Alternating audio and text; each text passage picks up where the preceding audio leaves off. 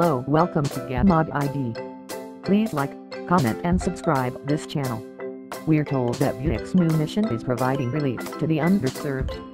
Buick representatives on hand at the introductory drive event for the new Regal TourX used the word repeatedly as they described their aim to sell vehicles in niches overlooked by other car makers, as if the brand now operates as something of a non-governmental relief organization.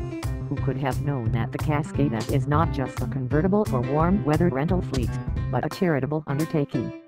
High spacious, strong brakes, sophisticated AWD system, Lows sleepy throttle and transmission, neither luxurious nor off-roadable, goofy exterior cladding.